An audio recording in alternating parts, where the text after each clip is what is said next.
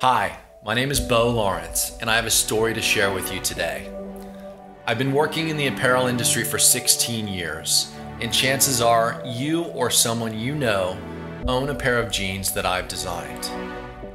After years of being in the center of the denim industry for the world in Los Angeles, I needed to make a change. A change for myself, a change for my family, and for the life focus that I wanted to have.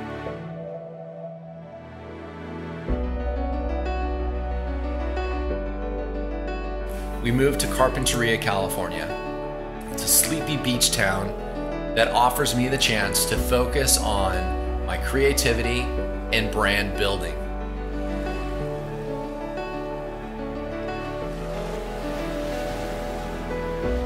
I've come up with a concept for a product based around a fabric. I've seen so many fabrics in my career.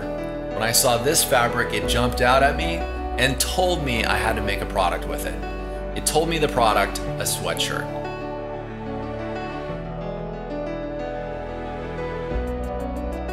In design, it's always driven by something. For me, the designs I'm most passionate about have vintage inspiration and a sense of iconic appeal.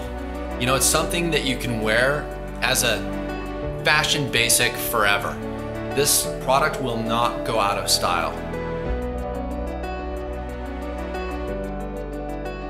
Fashion details like contrast under the cuffs, you know, a touch of a drop needle texture in the collar and in the, the rib that's used at the hem. The detail, the color use, the yarn dye, the way that the, the fabric is built, the way that the garment is built.